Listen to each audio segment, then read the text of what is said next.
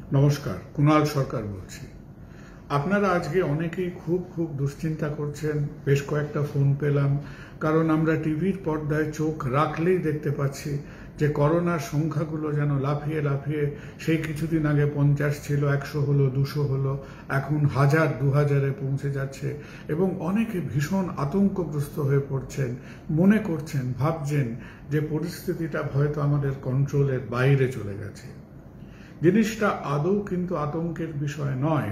আমাদের দেশে বাইরের থেকে হাজারে হাজারে লক্ষ লক্ষ মানুষ এই ইনফেকশন নিয়ে এসছেন।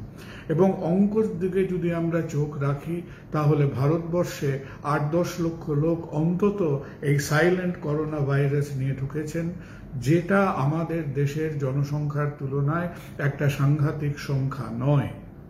এখন আমরা যত টেস্ট করছি, তত বেশি সংখ্যায় এগুলোকে আমরা দেখতে পাব।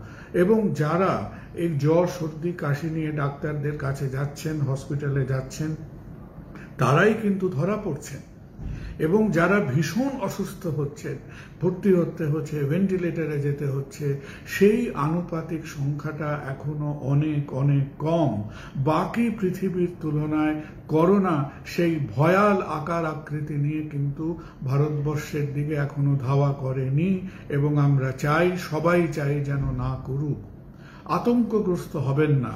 আমরা যদি আমাদের যাবতীয় সাবধানতা, যাবতীয় পার্সোনাল হাইজিন এবং একটা সেন্স অফ ডিসিপ্লিন নিয়ে চোখ খান খোলা রেখে যদি আমরা আমাদের এই লড়াইটা চালিয়ে যেতে পারি, তাহলে অল্প সময়ের মধ্যেই আমরা একটা সুস্থ, স্বাভাবিক জীবনে ফিরে যাব। বি অ্যালার্ট নট অ্যাফ্রেড এবং আমরা উই শ্যাল উইন ভালো থাকবেন, সুস্থ থাকবেন।